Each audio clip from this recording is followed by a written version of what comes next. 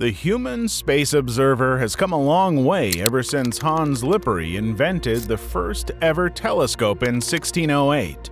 That's right, I'm sure a lot of you probably thought it was Galileo who invented it in 1609, but the Dutch lensmaker is credited for being the first person who did.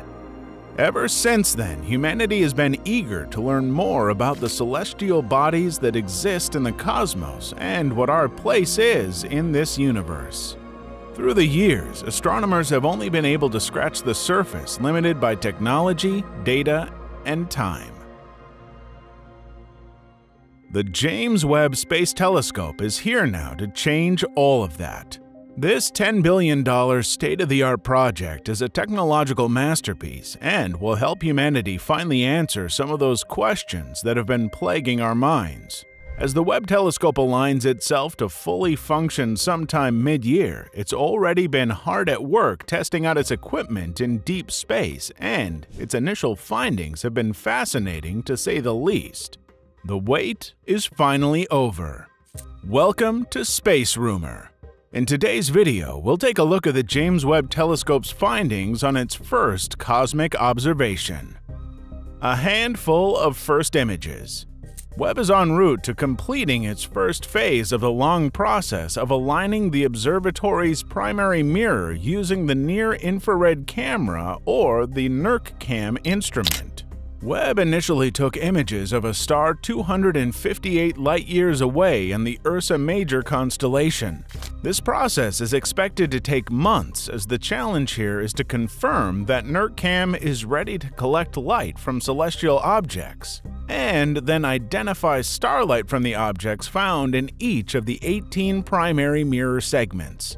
To put it in simpler words, the Webb has 18 mirrors that collect light from distant light sources, in this case, a star, and process the image through the NIRCam. It's kind of like when you put 18 mirrors in your room just to make sure you look great from all angles. Well, sort of. If you're that kind of person who'd have 18 mirrors just for one room.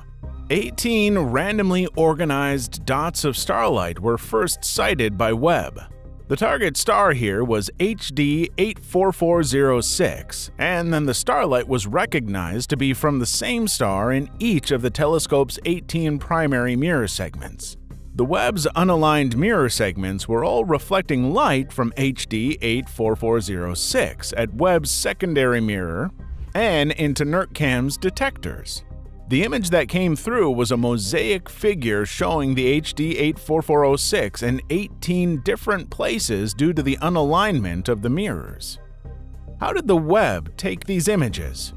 February 2nd marks the first time Webb began capturing images. According to a report by NASA, Webb was repointed to 156 different positions around the predicted location of the star and generated 1,560 images using NIRCam's 10 detectors, amounting to 54 gigabytes of raw data. Now, that's a whole lot of images. They'd need an entire warehouse of hard disks at this rate, and considering this is NASA we're talking about, they probably do. The entire process lasted nearly 25 hours, but notably, the observatory was able to locate the target star in each of its mirror segments within the first 6 hours and 16 exposures. These images were then stitched together to produce a single large mosaic that captures the signature of each primary mirror segment in one frame. The images shown here are only a center portion of that larger mosaic, a huge image with over 2 billion pixels. NASA explained further in their report, tedious but necessary. No one can slack in the search for answers. A step in the right direction. The resulting image might look like a simple portrait of blurry stars, but it has now become a critical foundation to the alignment and focus of the Webb aimed at delivering extraordinary sights of the universe sometime in the middle of this year. For the next few months, the team behind this project will be hard at work to adjust these mirror segments until the 18 images are one big star. As you can imagine, the entire Webb team was ecstatic at how well the first steps of taking images, aligning the telescope, and seeing that like make its way into NIRCam. This is just the beginning of something amazing. The mosaic image is rich with highly crucial and informative data. The NIRCam was selected for this operation because of its relatively wide field of view and for its adjustability at higher temperatures compared to other instruments aboard Webb. The decision to use the NIRCam for the alignment process was made a long time ago, of course. It was all part of the plan. The unit was revamped with special custom components helping the efficiency of the operation. Even though the NIRCam has worked wonders, there are still some visible artifacts in the alignment images due to the high temperature out there. In due time, these issues will be resolved when Webb is completely functional and aligned. It's just a matter of time before we get to see many more sweet images. HD 84406 is in the constellation Ursa Major, or Big Bear, which is not visible from Earth unless you use a telescope. No surprise there. It was a perfect initial target for Webb because of its steady brightness, hence, the observatory will always be able to spot it. This would be quite useful if there were any launch or deployment delays affecting the plan. Space Selfie as if the images of HD 84406 weren't already enough, NASA also shared a selfie image that the observatory took using a special lens aimed at the observatory's primary mirror to help during the adjustment and alignment process. NASA writes, This selfie was created using a specialized pupil imaging lens inside of the NIRCam instrument that was designed to take images of the primary mirror segments instead of images of space. This configuration is not used during scientific operations and is used strictly for engineering and alignment purposes. In this case, the bright segment was pointed at a bright star, while the others aren't currently in the same alignment. This image gave an early indication of the primary mirror alignment to the instrument. Imagine taking a selfie with the world's most expensive camera and then multiplying that by 10,000. Yep, that's what this is. The telescope has a long way to go.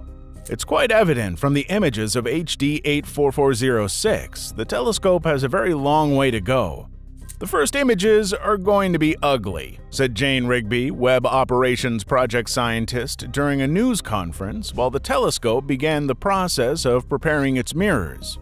As it's worked upon more, Webb's images will only become more accurate, clear, detailed, and more intricate. As planned, the first scientific images are courted to be delivered for the world to view this summer.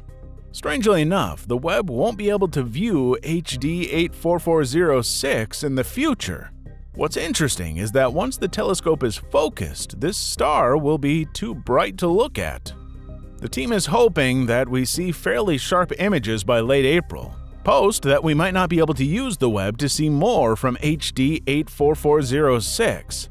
Now that's a lot of hard work to get some overexposed images. All said and done, the scientists are thrilled about the observatory's progress. Along with the tireless work to hone Webb's vision, a secondary simultaneous process is taking place behind the curtains. Because Webb was built to study the universe in infrared light, which also collects as heat, the observatory must be substantially cold to get precise data. NASA scientists estimate that the golden primary mirrors will reach temperatures as low as minus 370 degrees Fahrenheit. Therefore, instruments must be even colder, according to the scientist. Although this is a giant leap for mankind, as the infamous words of Neil Armstrong were said, there's a lot of time before scientists can confirm that Webb is a functional telescope. There's a whole lot more to be done in the coming months to assemble the observatory for full scientific operations using all required instruments. Besides that, it's needless to say, the Webb team has cleared another hurdle, and with each subsequent image to follow, it will be clearer. Soon, we'll have a completely clear view of the great beyond. It might be a little too early for the guys at the Webb team to celebrate, and there's still a lot of work to be done, but it's great to see that Webb is functioning as expected. So, what are your thoughts on Webb's first images? Are you eagerly awaiting the full image of the star? And what do you think Webb will reveal about the Ursa constellation? Tell us in the comments. And as always, thank you for watching Space Rumor.